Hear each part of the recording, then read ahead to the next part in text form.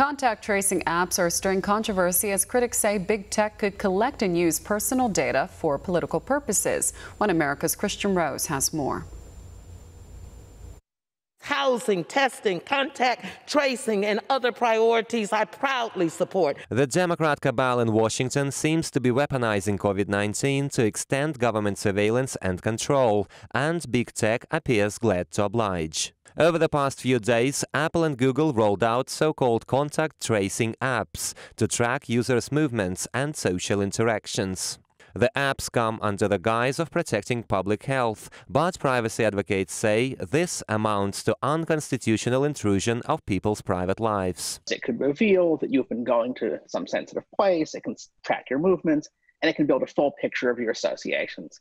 So it obviously raises privacy concerns. Apple and Google control almost 100% of the international smartphone market between them, meaning this harvesting of contact tracing data is taking a global turn. In America, contact tracing is spearheaded by the Democrat proposed bill HR 6666 that will allow to identify, search and lock up citizens flagged as at risk of COVID-19. Now that the big tech is on board, contact tracing is even more likely to be used for political purposes, as tech giants have a history of suppressing conservatives and right-wing activists for years now. Much like after 9-11, we are seeing a, the kind of panic response leading to a renegotiation of values that have been long protected. And while Google and Apple apps pose a rising threat of government tyranny, there is a myriad of third-party apps that also harvest contact data for purposes unclear. Critics say foreign governments, terror groups and cybercriminals may collect contact tracing data for various purposes,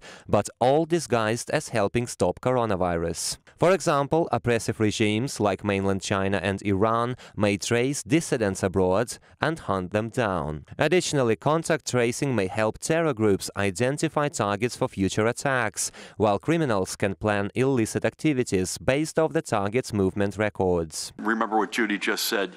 You don't give up your social security number, your bank account number, anything like that, either in a text or on the phone and the spot positivity. And while the Democrat deep state, their corporate allies, and stooges in mainstream media all disparage privacy concerns as conspiracy theories, many Americans disagree. A recent poll from University of Maryland finds 56% of respondents do not trust big tech when it comes to contact tracing. 43% of Americans also mistrust public health agencies amid latest revelations of deep state ties and Democrat biases so-called experts.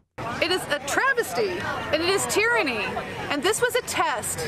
This was a test of our government to see how easy it would be to lay down our rights and our liberty. All the while, top Democrat officials are fueling the virus scare to attack President Trump and extend outreach to the hearts and minds of voters ahead of this year's elections. It remains to be seen if citizens push back on the big tech data harvesting to protect what's left of their constitutional freedoms. Kristian Rouz, One America News. Want to see more videos like this?